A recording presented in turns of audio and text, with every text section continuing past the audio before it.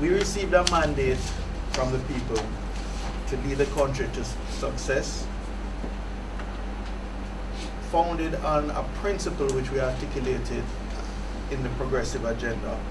That was the power principle, participation, accountability, and responsibility. When we were engaged in the process of the progressive agenda, we were often asked why it was taking so long.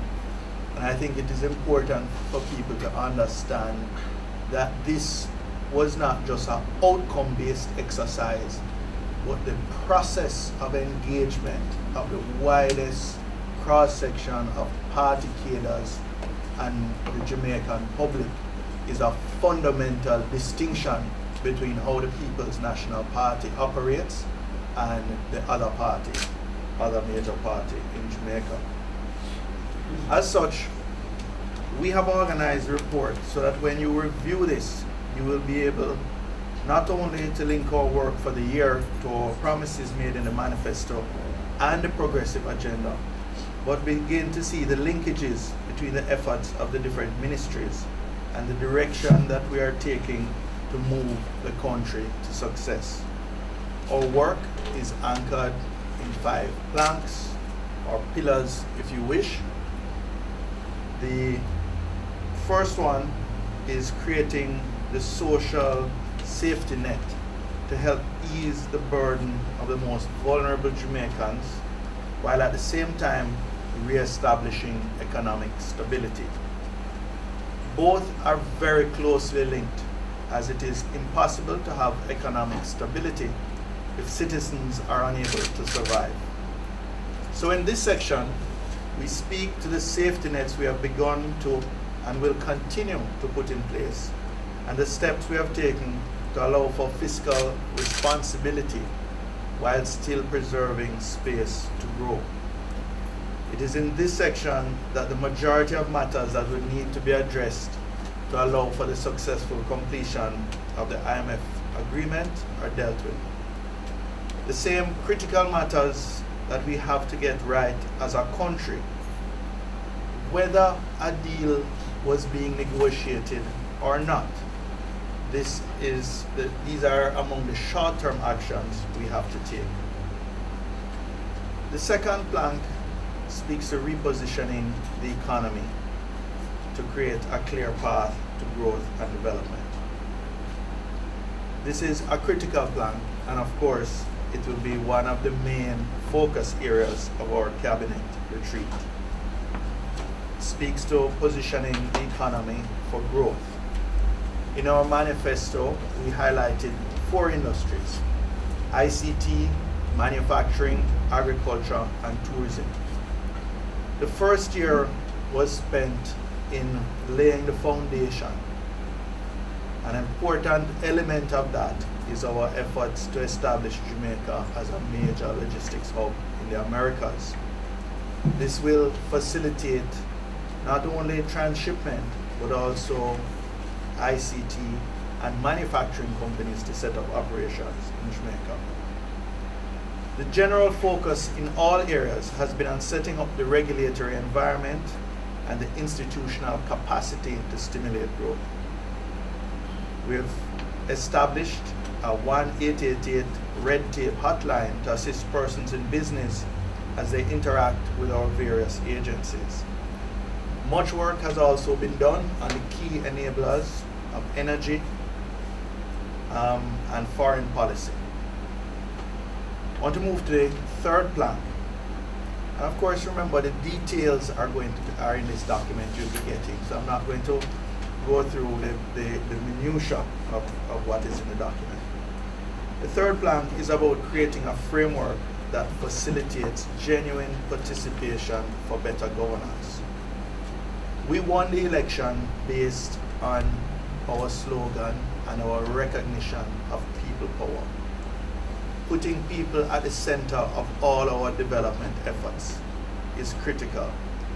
We think the success of any government is going to be based on genuine participation of the people.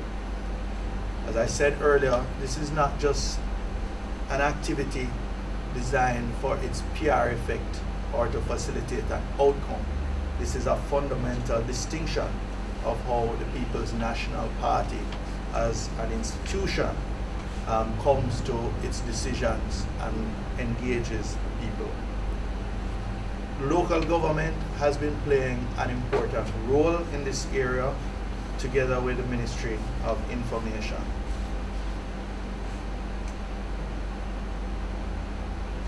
The Ministry of Justice also has a critical role in this area. Um, it's often said there can be no peace without justice, and we have seen instances where if people feel that they're not getting justice from the system, they will attempt to create their own. It is also here that our system of governance and constitution is being addressed to ensure that we have, that we facilitate Jamaicans having a fundamental say in how Jamaica is governed. Want to turn to the fourth plank. No growth can take place without people. For an individual or individuals to contribute to the growth of their country, they must be educated, they must feel safe, they must be healthy, and they must have a strong sense of identity. It is in this section that we address the needs of our children and our youth. We have begun to make Jamaica a safer place crime is moving in the right direction, it's being reduced. And perhaps if I could focus just on a sub area of that, the issue of violence against our children. We made dramatic headway during the course of last year. And perhaps I'm surprised, um, but not really, but disappointed that the media hasn't taken up the fact that during the course of the year, apart from the 16% reduction in sexual assaults against minors, the trend during the course of the year, we moved from 108 incidents reported in the month of January on a steady downward trend that by the time we were in December, we had only 18 incidents reported. That is a dramatic reduction, and yet we haven't seen much of that spoken about in the media. And the final plank or area that we want to, that we speak to in the report card is our physical infrastructure developments. This again is a critical cornerstone to support our growth plan. With limited resources, we have to be very focused and prioritize carefully.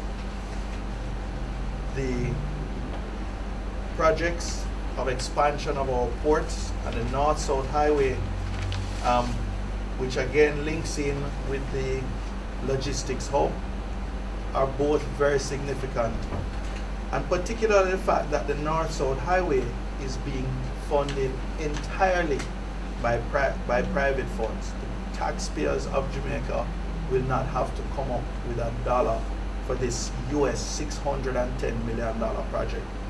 And in fact, the 120 million US dollars that had already been spent by the government will be recovered over the life of the concession agreement.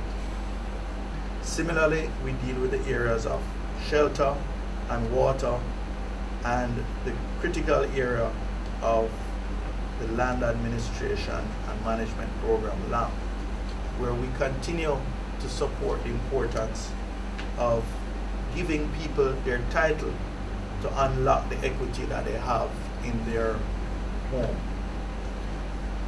So in conclusion, ladies and gentlemen, as we create economic stability while providing a cushion for the most vulnerable in a spirit of genuine participation and with an empowered population, we will work together to create growth in a healthy and safe environment.